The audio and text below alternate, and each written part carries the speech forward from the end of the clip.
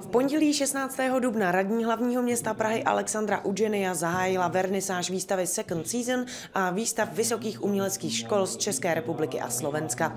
Během večera se také uskutečnila komentovaná zahájení jednotlivých výstav. Podporuju Muzeum mladého umění a moja.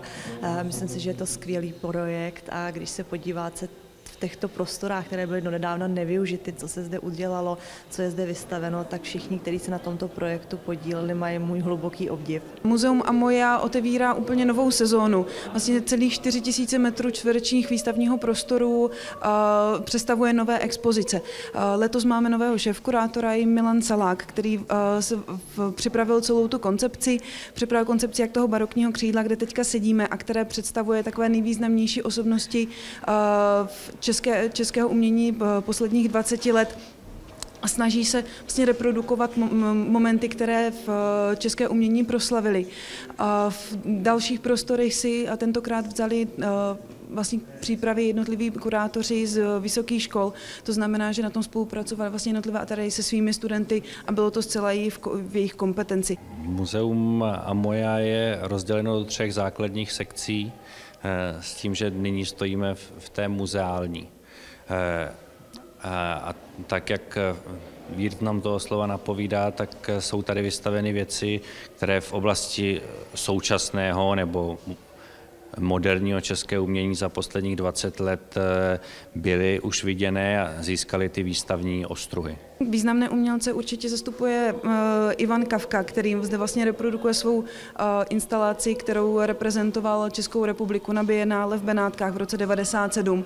Vystavuje tady Jiří David, je tady dvojce, která tvoří vlastně video art Ondřej Brody a Christopher Pato, kteří tady mají takovou provokativní instalaci Eh, je tady instala, videoinstalace Mileny Dopitové, takže si myslím, že určitě je na co si přijít podívat. Kokurátoři sekcí, které jsou věnované například jednotlivým eh, výtvarným školám v Čechách a na Slovensku, vysokým školám, eh, nominovali vždy jednoho zástupce.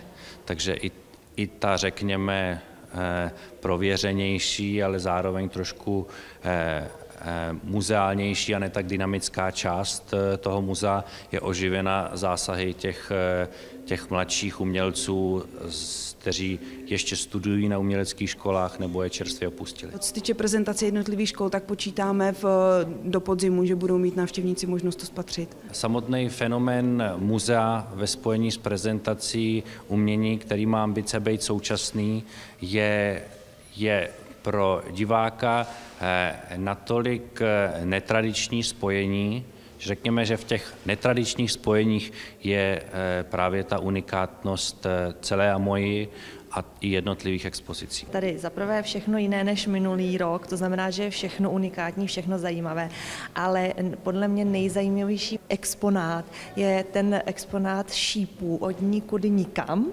a e, je to vlastně exponát, který zastupoval i Českou republiku v Benátkách na Bienále a sklidil ohromný úspěch, tak doufám, že sklidí i zde. Na vernisáž jste si mohli zajít podívat do Mansfeldského paláce v Karlově ulici na Praze 1.